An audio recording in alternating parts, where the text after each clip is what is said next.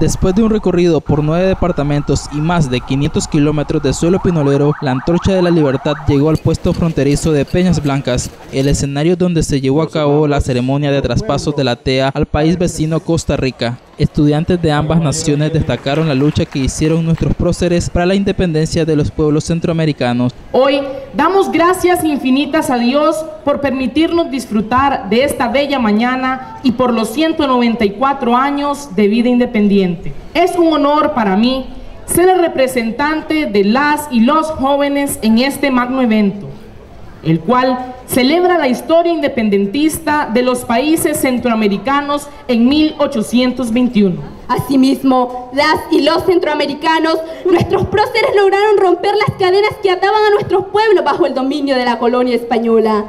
Recordamos este hecho histórico recorriendo la antorcha por los países centroamericanos como símbolo de la libertad, la paz y la unidad. La entrega de la antorcha lo efectuó la compañera Miriam Raudes, ministra del Poder Ciudadano para la Educación en Nicaragua, a su homóloga costarricense doctora Sonia Mora. Qué significativo resulte hoy, como muchos años atrás, que la TEA de la libertad y la independencia viaje de la mano de nuestros jóvenes.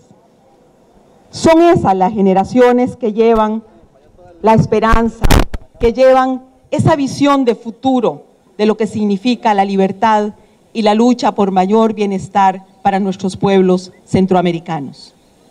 Hoy nuestros jóvenes han dado, han dado muestra de esa diversidad de talentos que el sistema educativo debe promover.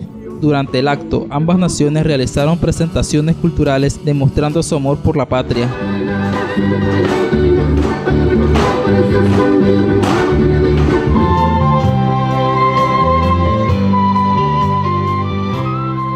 imágenes de Exxon Martínez en el departamento de Rivas, les informó Sicto Carmona, Multinoticia. La